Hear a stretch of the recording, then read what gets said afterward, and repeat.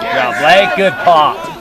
See it? When I he like pops out of his this thing I from think a it would look trap, better if a little bit he of has On the visor, right? Right. Just look too clean to me. Like our old, or like our first He traps it in his cross. Yeah.